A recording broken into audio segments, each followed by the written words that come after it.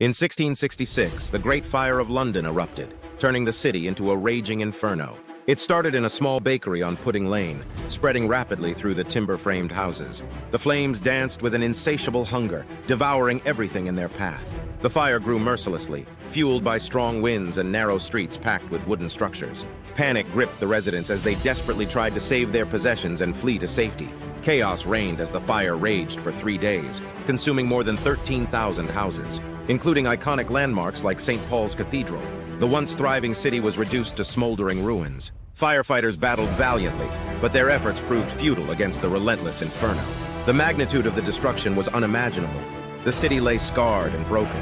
Amidst the devastation, a sense of unity emerged. Communities rallied together, assisting one another in the face of adversity.